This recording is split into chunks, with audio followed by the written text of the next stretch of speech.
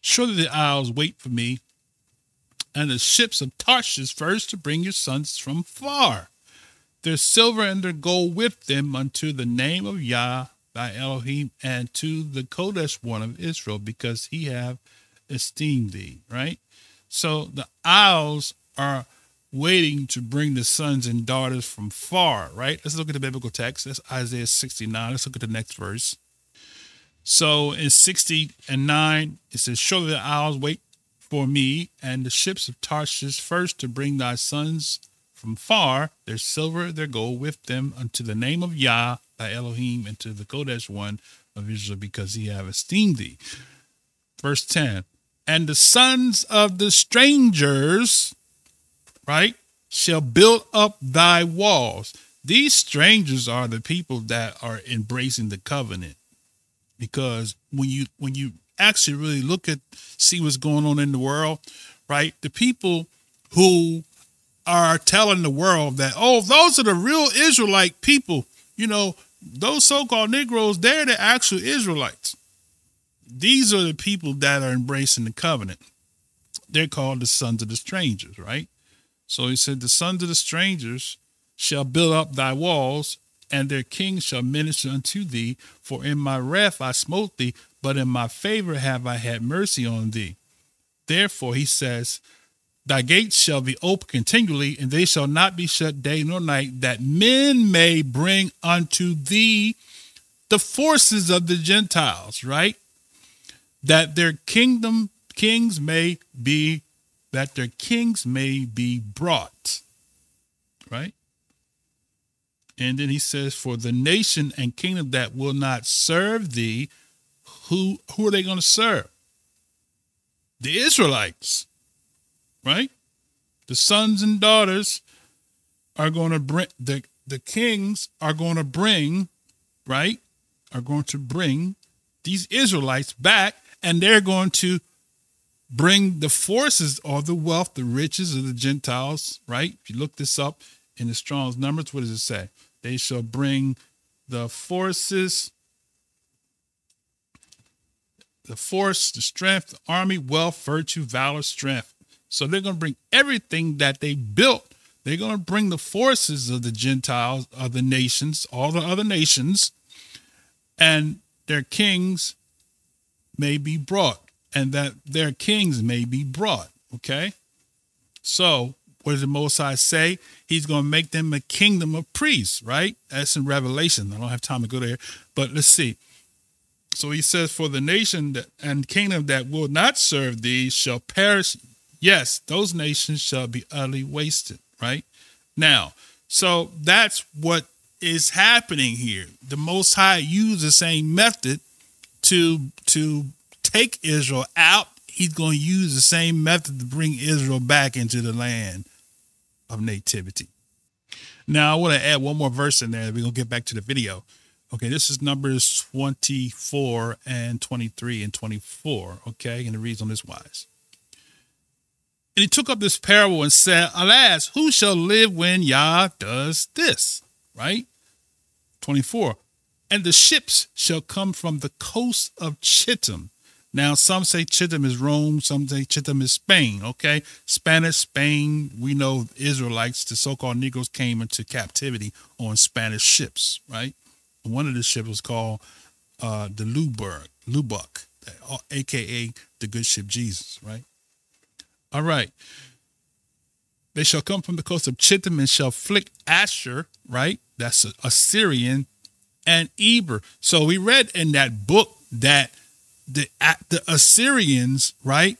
The Israelites came from Assyria, right? So we see Assyria and Eber. And what did the book say they went? They went into Africa, right? So the coast, the ships shall come from the coast of Shittim or Chittim and shall afflict Asher, right? Just so you see it. Asher since a second son of Shem, also his descendants in the country occupied by them. That is Assyria, right? See that? So Asher, right? And Eber, right? So Eber is also descendants of Shem, and all of the children of Ab- Abraham are Eberites, right? And some of the Eberites are not from Abraham, but they're Eberites. They're Shemites, I should say. Okay? Shall flick Eber, and he also shall perish forever, right? So that is what happens. So you have what the author of the book told us, right? He says, Many of the Jews are scattered over this region, some natives boasting themselves of Abraham's seed. Now, here's the part I just I just mentioned. Others are Asian strangers who fled there after the des- desolation of Jerusalem by Vespasian from Judea. Wasted and depopulated by Romans, Persians, Saracens, and Christians, right? Okay. So we see that they boast of Abraham's seed and they inhabited and fled on both sides of the river Niger. Or some say Niger, but it's actually Niger. Okay. Now let's go back into the video. And so the people who are living in Israel now are fake Jews who have ba- they're basically imposters. Okay, now look at the, the verse there. So it says you can't you can't argue that verse.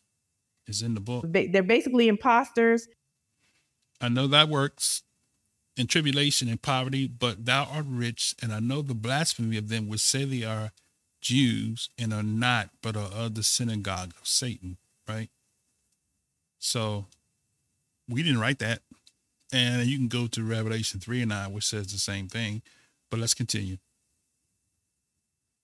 They stole our identity. And the reason they know that we are the true Jews is because of the curses. Okay. Now, notice what I have on the screen. You can throw Deuteronomy out the book. Okay. But this Luke 21 24 stands out because some would say, oh, well, that happened. That was the first captivity when they went into Assyrian into Babylonian captivity. Okay. What about Luke 21 24? Which says, They shall fall by the edge of the sword and shall be led away captive, captive into all nations, right? Led away captive, right? So that's prophecy because you said Deuteronomy 28, they wasn't sold. They offered themselves and no one bought them. Okay. What is that? Yeshua the Messiah wasn't making up his own doctrine, right? So when you see that, it says they they would be led away captive, right? Into all nations. Now, let's beat the horse. Let's beat the horse into the ground. Okay. It says, they shall fall by the edge of the sword, right? And shall be led away captive. This phrase is shall be led away captive, right? Is 163. It says to make a captive, right? Uh akamalatos.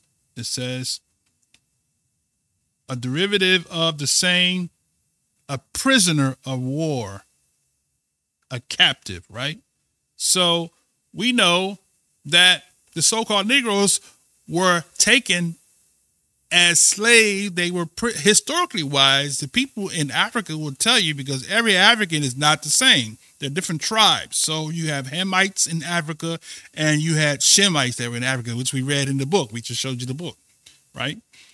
So the Israelites, the so-called Negroes, was taken into captivity, right? As captives, as slaves. They were captured, prisoners of war captured and brought into the new world as slaves, just like the prophecy said, just like the Messiah said in Luke 21 and 24.